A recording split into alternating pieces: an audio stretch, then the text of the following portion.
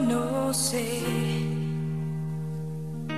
por qué me siento hoy tan diferente, porque no quiero nada con la gente.